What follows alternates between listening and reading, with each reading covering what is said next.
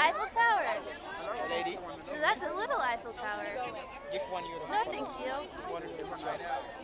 No, thank you.